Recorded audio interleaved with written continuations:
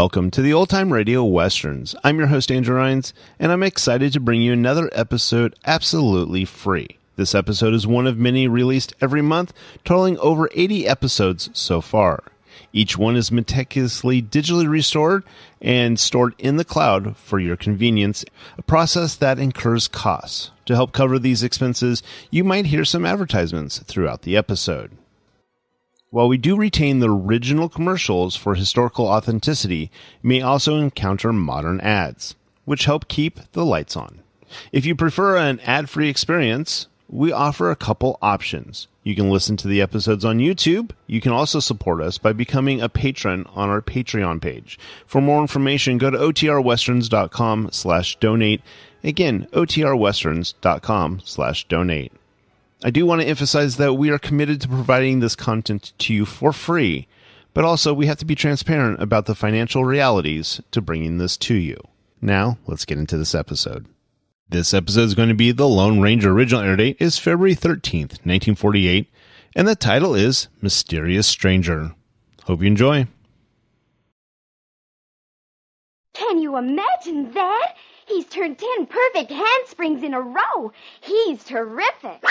He's feeling his Cheerios. Yes, Cheerios, the breakfast cereal made from oats. Good old fashioned, nourishing oats, all ready to eat. And now the Lone Ranger, brought to you by Cheerios. Cheerios, Cheerios, Cheerios, Cheerios.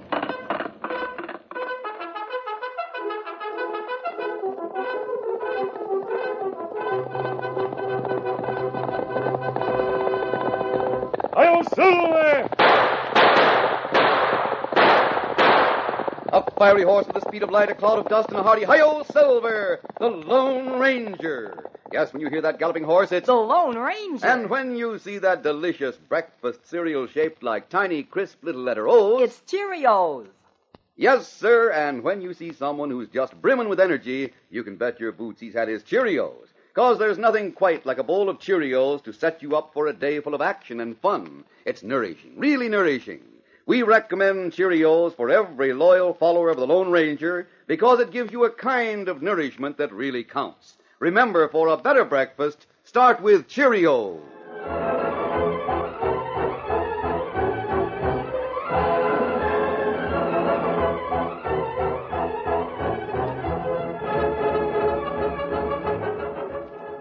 With his faithful Indian companion Tonto, the daring and resourceful masked rider of the plains led the fight for law and order in the early western United States. Nowhere in the pages of history can one find a greater champion of justice.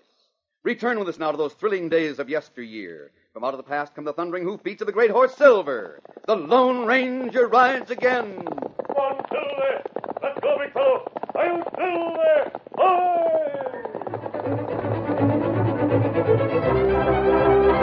Hi!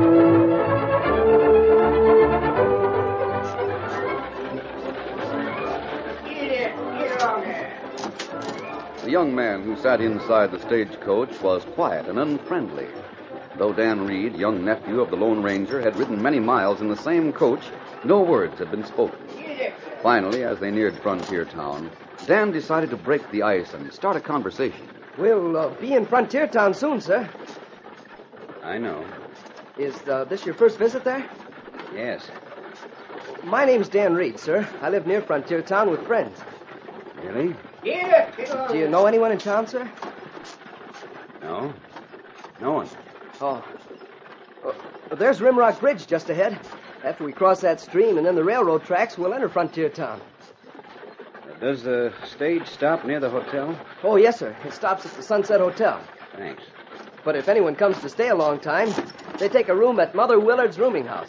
Well, that would suit me better. I can show you where it is if you want me to, sir. Yeah,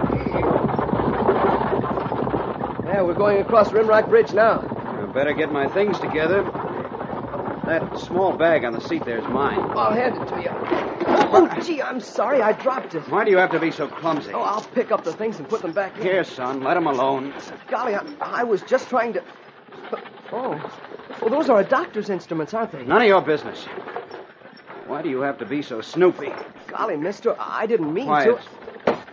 Oh, it's all right, Dan. Forget it. My My nerves are rather jumpy today. Oh, that's too bad. I'm sorry. Eat it there. Go on. You'll like this town. Doc Drummond could use some help. He's the only doctor in town. See here, Dan. Don't let these instruments fool you. I'm a, a salesman, not a doctor at all. Oh, I. well, As a matter of fact, I was stopping off here to see Dr. Drummond because of an order he sent in about new instruments. oh, I see. My name's uh, Garwood Ellis. Glad to know you, Mr. Ellis. Eat it there. We're almost to the hotel. I'll help you carry your luggage and show you the way to Mother Willard's rooming house. Whoa there. Whoa. Whoa there.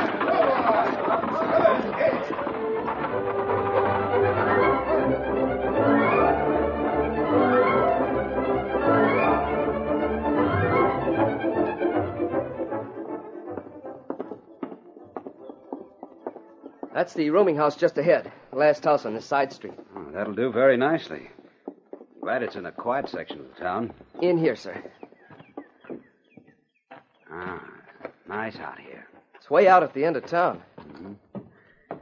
Uh, what are those hills out there? Those are the Enchanted Hills.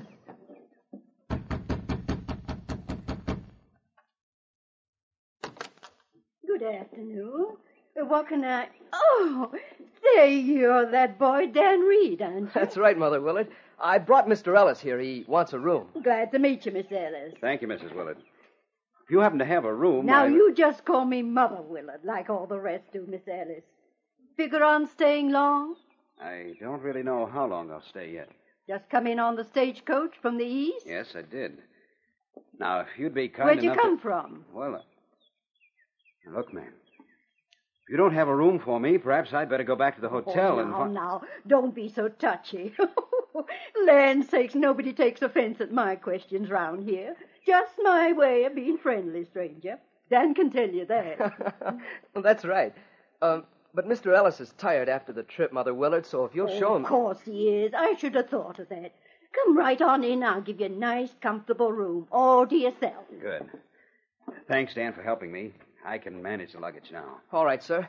Maybe we'll meet again soon. Of course you will, Dan. You come around any time you feel like it to see us. Thanks, ma'am. I'll be leaving now. Bye. Goodbye. Bye, Dan.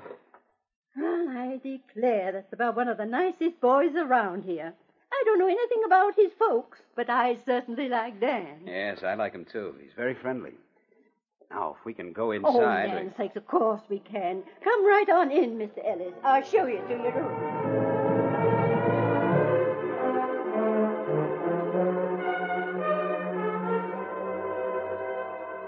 Dan Reed went to the livery stable to get his horse, Victor. It was almost dusk when he arrived at the camp he shared with Tonto and the Lone Ranger in the Enchanted Hills, several miles northeast of Frontier Town. Ho, ho, Victor, ho, boy, ho, ho. Well, Dan, welcome home. We missed you. Well, thank you, sir. I sure missed you and Tonto. How, Dan? Hi. You have good time with Thunder Martin, Clarabelle? I sure did, Tonto. Those two keep me laughing all the time. uh, me like 'em. Them plenty good company. Yes, and they're mighty good friends to all of us. And to each other in spite of their differences. Uh, stage must have come in late, Dan. You take long time to get here. Oh, the stage was on time, but I showed a man uh, on the way to Mother Willard's rooming house before I left Frontier Town. Someone from the stage, Dan? Yes, sir. He's stopping off here to see Doc Drummond. His name is Garwood Ellis, and he's a salesman. Salesman? Yes. He had a little bag that fell open. It had doctor's instruments in it. I thought he was a doctor at first, and, well, he, he seemed to make him angry. Then he told me he was selling the instruments. Hmm. Strange you should be upset about that. Also strange about him stopping off here to see Doc Drummond to try to sell him medical instruments. Why, sir? Because, Dan, Doc Drummond has a kit of fine instruments, for one thing. The other is that there aren't enough doctors in the whole Western Territory to make such a trip out here worthwhile for any salesman. Well, that right, Dan. Golly, then I wonder why he told me that. I wonder the same thing, Dan. You've aroused my curiosity. I'd like to make it a point to know more about Garwood Ellis.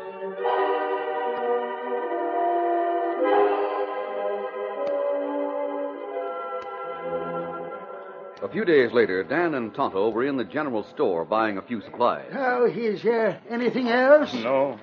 No, that all for now. All right, here's a package. Here comes Mother Willard, Tonto. Yeah, that's Mother Willard, all right. Well, for land's sakes, Dan Reed. Morning, Mother Willard. Oh, this is Tonto. Oh, how oh. How? How are you, son? Thought you were coming round to see that friend of yours, Miss Ellis. Well, I haven't been into town since Mr. Ellis arrived. How is he? To tell you the truth, I'm worried about that young man, Dan. Mopes and paces in his room all the time. Hasn't been outside since the day he come there to my rooming house. He hasn't? We said he was going to call on Doc Drummond. Matter of fact, Doc Drummond come to the house yesterday to see one of the roomers. Oh, he did? Well, maybe a young feller see Doc Drummond then, Dan. Oh, but no, he didn't at all. You see, being worried about him like I am, I went up and knocked on his room door. He opened the door a crack and asked what I wanted. Gee. Yep. And then when I told him maybe he'd better let Doc Drummond talk to him, he says, Please, Mrs. Willard, he won't call me Mother Willard like the rest. Please, he says, I know you mean well, but I'd rather you let me handle my own affairs. I don't want to see anyone. Understand? And then he closed the door right in my face. Golly, I, I wonder why he's like that. Been trying to find out what's wrong with him, but I can't make much headway. You see, he won't let me in to clean his room. Says he'd do it himself.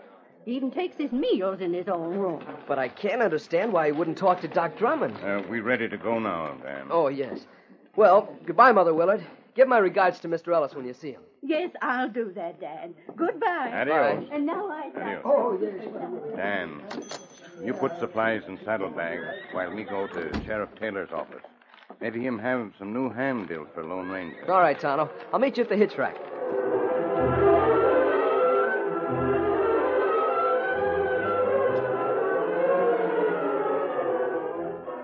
As Dan waited at the hitch rack, he saw a horseman galloping into town. The man drew rein when he saw Dan. Whoa, whoa there, whoa, steady boy. Hey, kid, where'll I find Doc Drummond? Up the street, opposite the sheriff's office. What's happened, mister? There's some sort of epidemic broke out over at Rock Hill. It's getting bad, and we don't have a doctor there. Hello, hope Doc Drummond's in his office. Get up there, go on. Golly. Oh, we ready to go now, Dan. Uh, what man on horse say about Doc Drummond? There's an epidemic over at Rock Hill. He's come here for Doc Drummond. Oh, that's not good. Come, we go tell Lone Ranger. Hey, boy. Hey, come on, Victor. Get him up, Scout.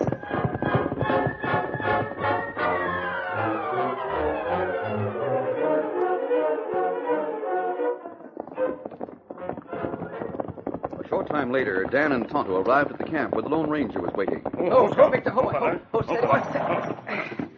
Both seem to be in a hurry. Something wrong in town? A man came to Frontier Town looking for Doc Drummond. There's an epidemic in Rock Hill. That right, Kemosabe? Did he say what kind of an epidemic it is, Dan? No, sir. And me see him talk to Dan. Him looked like him plenty excited. Yes, he was. Oh, oh me forget. Uh, Oh. Me stop at sheriff's office. Bring two new handbills, Kemosabe. Let me see them, Tonto. Ah, here. Oh, this one's about an outlaw who robbed a bank in Pecos. Tall, heavy set, wears a black mustache, scar on cheek. I'll have to keep an eye out for him. And what other one say? Me not have chance to look. Two new handbills, Kemosabe. Let me see them, Tonto. Ah, here. Oh, this one's about an outlaw who robbed a bank in Pecos. Tall, heavy set, wears a black mustache, scar on cheek. I'll have to keep an eye out for him. And what other one say? Me not have chance to look. Well, let's see. Wanted for murder. Dr. Gary Edwards, 30 years of age, about 5 feet 10, blonde hair. Known to be left handed. Contact Sheriff Green in Austin with any information of whereabouts. Oh, Dan, Yes, sir. your friend on the stage. I wonder if. Oh, he has black hair, sir. He's not a doctor either. And That what him tell you, Dan. Remember what Mother Willard say about him? You tell Lone Ranger. Uh, what did she say, Dan? Well, she said Doc Drummond was at the house and, and she wanted Mr. Ellis to see him, but he refused. I see. But didn't he tell you he was coming to Frontier Town to see Doc Drummond, Dan? Well, that's right, sir. He did say that. Mother Willard says he hasn't left his room since he arrived in town. Hasn't left his room, you say? That right. Me hear Mother Willard say him have meals and room, not let her in to clean up. He's really awfully nice, sir. I liked him a lot. Maybe he's sick or something. Dan, he may be a nice chap, as you say, but his actions are far from normal. In fact, they're downright suspicious. Oh, that right. I can't help but think of him in connection with this handbill on that young doctor in Austin. Oh, golly, I'm sure Mr. Ellis wouldn't kill anyone, sir. Anyway, he's not a blonde. Hair is easy to change, Dan. He could have dyed it black. That right, Dan. Oh, golly. Night, Tonto. I'm going to Mother Willard's place and pay a visit to Mr. Ellis. Before I leave, I'll know for certain if he's a man wanted for murder in Austin.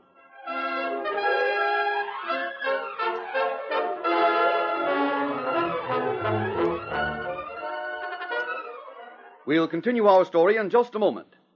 Zowie! It's a new indoor conference record for the high jump. He went over the bar at six feet four.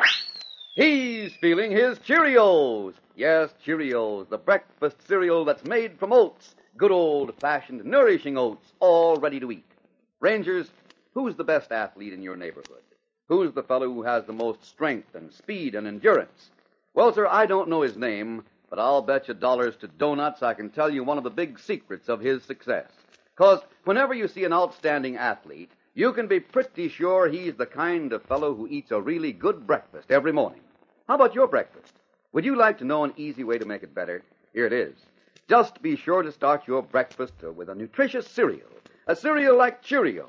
For Cheerios gives you a kind of nourishment that really counts.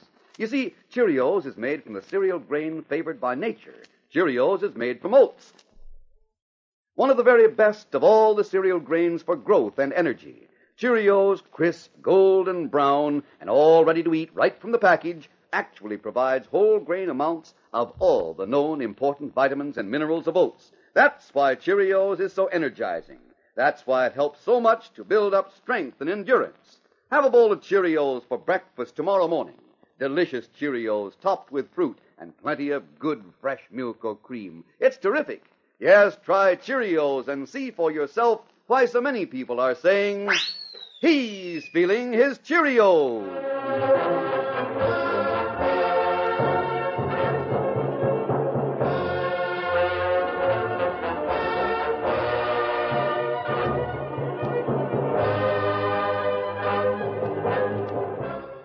Now to continue our story. After having supper in camp with Dan and Tonto, the Lone Ranger mounted his great stallion Silver and rode into Frontier Town. Meantime, the man Dan knew as Garwood Ellis sat on the edge of his bed in his room, which was located on the ground floor at the back of Mother Willard's rooming house. Suddenly, he looked up, startled, as he heard a thud at the back window. What the? Don't shoot. You're covered. Masked man. I didn't hear you climb in that window. I made certain of that. What do you want? Now that you've got the drop on me, I came here to talk to you. I want straight answers. there's nothing to talk about, especially with you. Why are you wearing that mask? Why do you Forget come- the mask. What I want you to do is. All right, go at the door. I'll be right behind it with this gun pointed at you. But be careful what you say.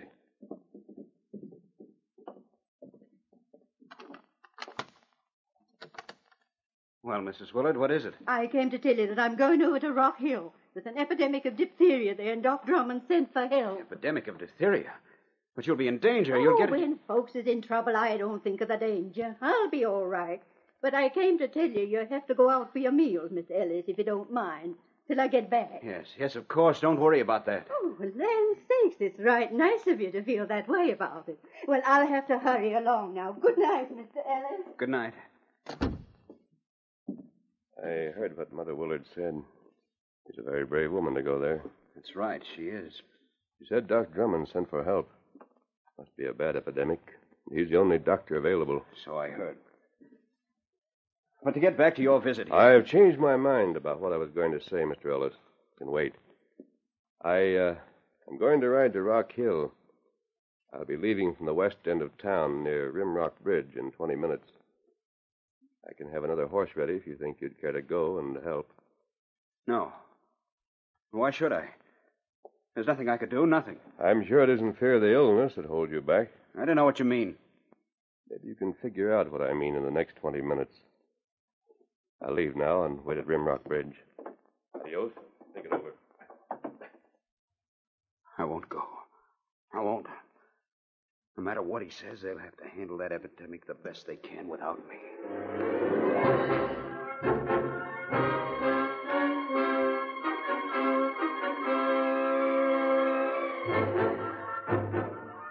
The Lone Ranger and Tonto waited near Rimrock Bridge.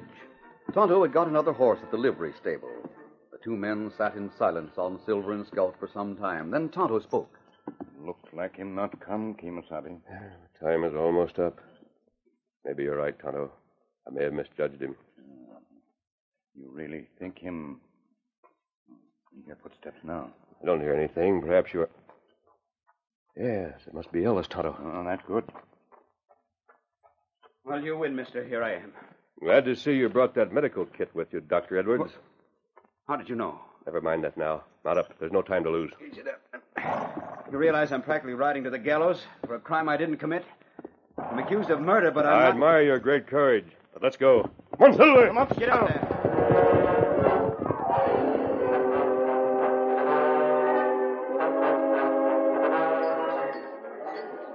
In the cafe in Rock Hill, many of the townsmen talked about the misfortune that had struck their little town. Well, I guess we'll be all right.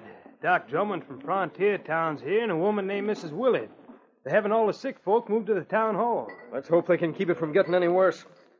If it gets too bad for one doctor to handle. He ought to be able to get it under control. No use us getting panicky about it. Well, I've heard that disease spreads like wildfire. Yeah, it's been known to wipe out a town. Well, now there's no use looking on the bad side of things.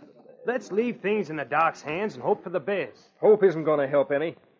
We ought to try to find another doctor and get him here. There's a Dr. Meeks in a little town about a hundred miles from here. We ought to send him a telegram. In fact, I'll send him a telegram right now. Then we won't have to worry.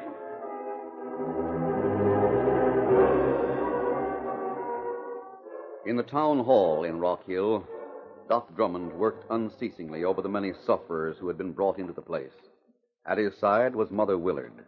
Both were exhausted with their continued efforts to stem the epidemic, which seemed to be growing worse. There. Oh, Mother Willard, I'm. I'm fighting to stay on my feet. Been at this for 24 hours. I know, Dr. Drummond. If we only had help, another doctor. But there's none to be had. My serum's running low, too. When that's gone, it'll be pretty bad. Pretty bad. I. Get me to a cot. Quick. Oh, heaven help us. You've got it yourself. Oh, here. Let me help you to that cot over there. Can't let it get me. Oh, Gotta keep going oh. Now. Oh, Doctor, Doctor. Whatever are we going to do now?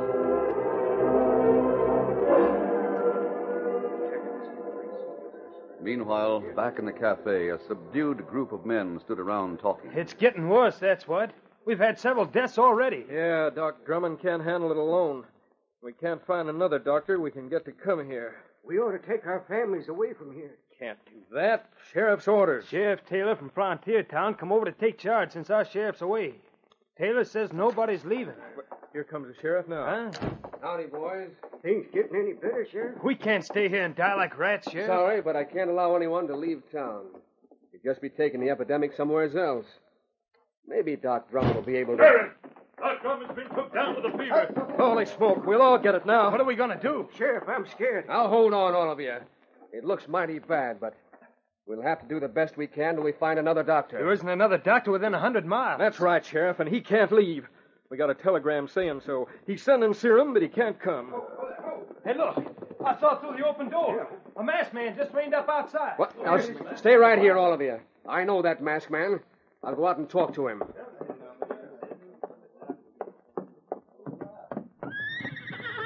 Sheriff Taylor, I was looking for you. Sure glad to see you, my friend. But things are mighty bad here, let me tell you. Doc Drummond's been took down with a fever, too. Doc Drummond. That is bad. Sheriff, I brought another doctor. Now, this man here. Another doctor? But there isn't any to be had, only Doc Meeks. He's a hundred miles away. Nevertheless, I'm a doctor, Sheriff. I came to help. Here's my kit. Then you're the best news we've had today. Better get over to the town hall right away, Doc. Hurry. All right, Sheriff. Come on, Silver. Get up there.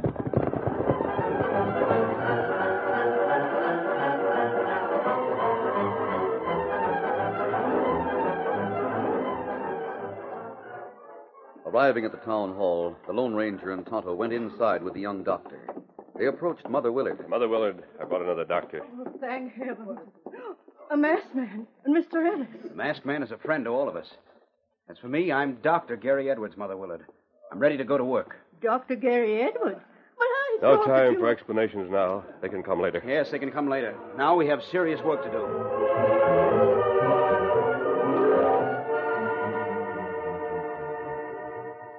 The afternoon wore on to nightfall, and the darkness finally melted into dawn. Still, young Dr. Edwards, with the Lone Ranger and Mother Willard at his side, constantly worked without a let up. Other days and nights came and went. The young doctor knew his business thoroughly and brought hope and confidence to the whole town. It was almost noon.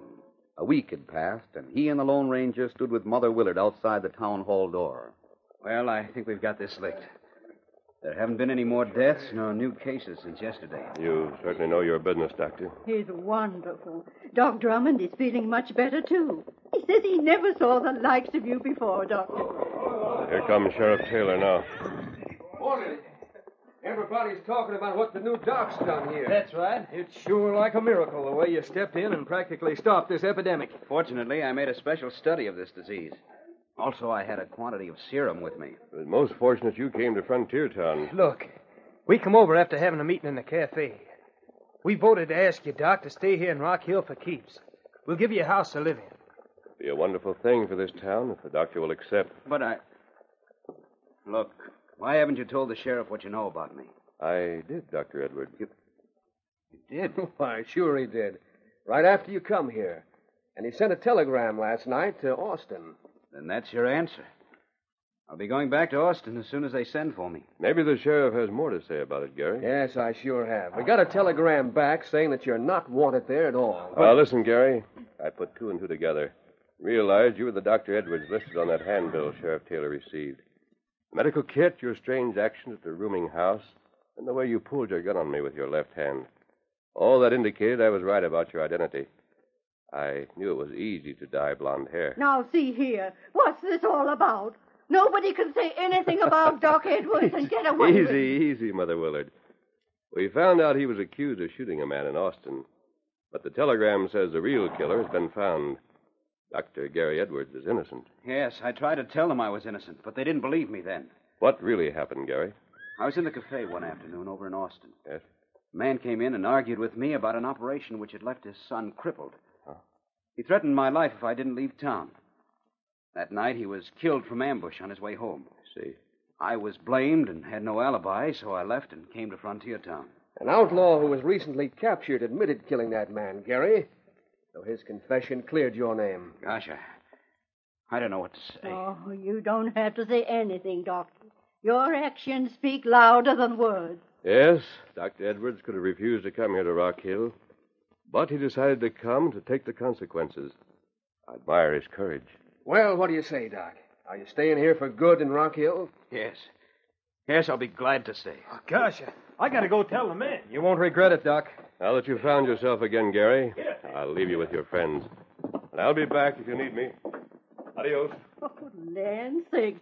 Now I lose you from my rooming house. But I'll come to see you often, Mother Willard. And I hope to see Dan again, that boy I met on the stage. I think somehow he's connected with that masked man and helped bring this about.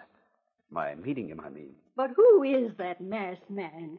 He was almost as good as a doctor inside there. Uh, yeah, who is he, Sheriff? You said you knew. of course I know.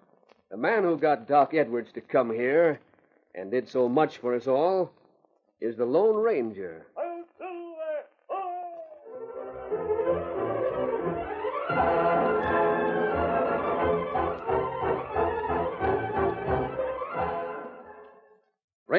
Take this urgent message to Mother. Don't fail to let Mother know. Apple Pie Quick is now selling at a special low sale price. Yes, there's a big sale now at leading grocers, a special low price on Apple Pie Quick. Prices have been slashed. Never before could you try Apple Pie Quick at such low cost. With Apple Pie Quick, the family can have an apple pie almost any old time. Apple Pie Quick gives you pie crust mix and apple slices, too. And the pie's in the oven in a matter of minutes. A flaky crusted, fresh and juicy centered dream of an apple pie. So now, tomorrow, take advantage of the sensational price cut sale on Apple Pie Quick. Look for slashed prices on Apple Pie Quick now during this special sale.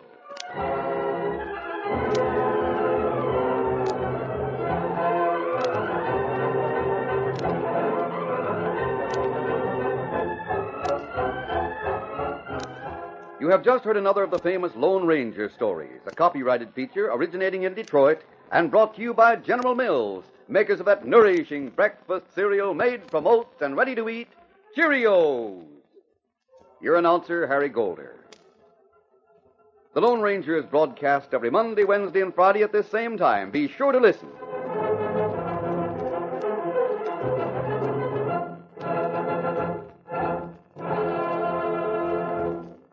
This is ABC, the American Broadcasting Company.